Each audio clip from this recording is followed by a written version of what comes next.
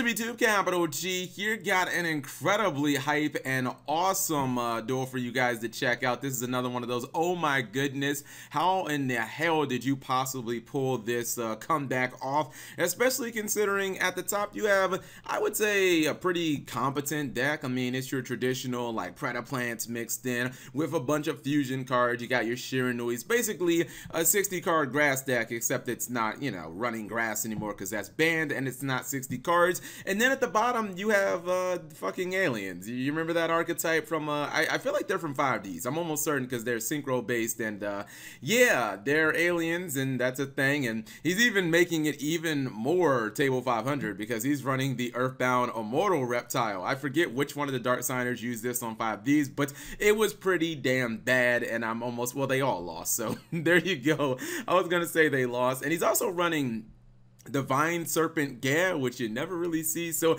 let's just go ahead and roll this. I would say just on paper, this is an absolute mismatch. This deck is probably one that can be pretty decent. This deck should be, no, it, shouldn't win this duel at all. Let's go ahead and roll it, see what's going to happen. All right, so he summons the Shock Trooper.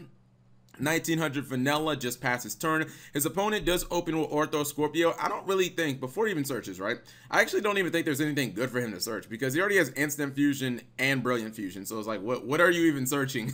are you searching Refusion? Maybe you run that? But, I mean, if not, he's just going to search, like, yeah, he searches another Instant Fusion. They're both hard once per turns. All right, he's got the, uh, he's got the Destrude on the grave. He's going to go for the best monster of 2017, which was uh, Sea Monster Theseus. He makes an Omega, right?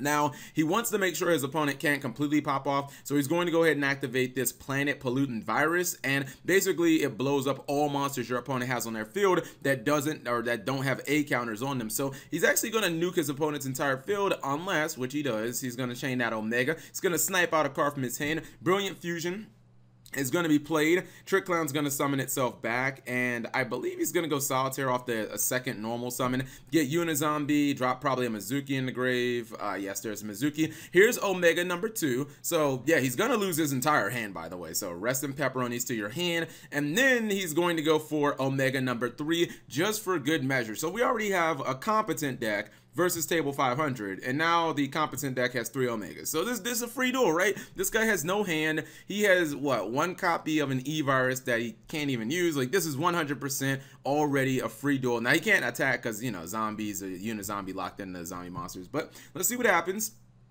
and uh, by the way, he uses Omega to put the Gab back in his uh, graveyard, which means the Gab will actually never come back. So that, that card is lost permanently, although his Omega will come back. Lair of Darkness plus E-Virus. I like that cheese. And he's able to actually get one of the Omegas down. He loses Terraforming uh, off of his draw phase. So one Omega is down, but he still has two to go. Like this is, there's no way he can win. This duel's over. Come on, Cap. He can't win this duel. You can't beat double Omega. He has a life point lead. He got that at least. Loses his hand, of course, because, uh, you know, Omega.